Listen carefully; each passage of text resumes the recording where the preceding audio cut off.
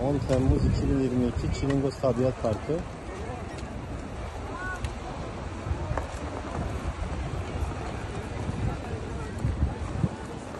Mangalları böyle restoranın bahçesinde yakabiliyorsunuz. Semaverleriniz de aynı şekilde.